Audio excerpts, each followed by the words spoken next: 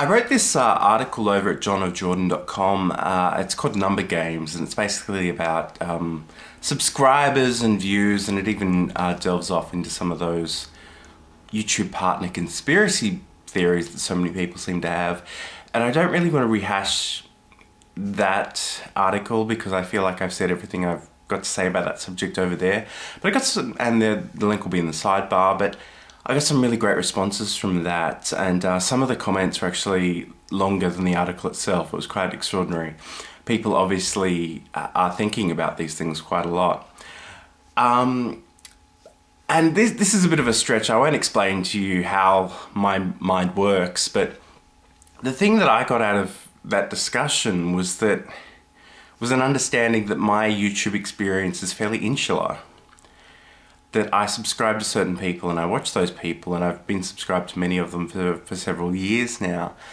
And I don't pay a lot of attention to, you know, the featured and promoted stuff that's on the front page.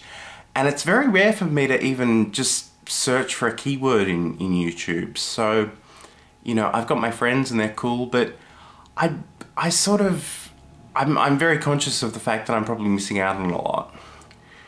And I'm wondering two things. One, how do you find new people, or well, new to you anyway, that are doing really interesting things? And secondly, who do you think is doing really interesting things on YouTube?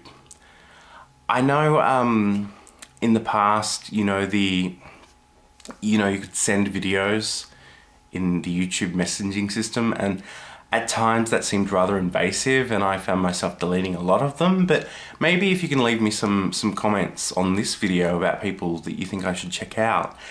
And finally, if you are doing really cool things on YouTube, this is no time for modesty, people. Leave, leave me a comment, let me know what you're doing if I'm, if I'm not watching it.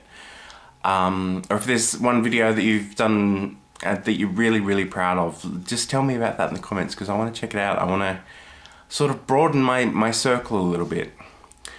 Also, um, finally, thank you to Muggle Sam who's been promoting the hell out of me. I'm very, very close to a thousand subscribers, which is just bizarre and amazing and cool and everything.